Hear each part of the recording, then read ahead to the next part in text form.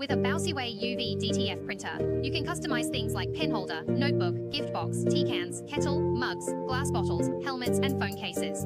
Applying automatic printing and laminating, it prints out crystal labels with strong stereoscopic and glossy effect.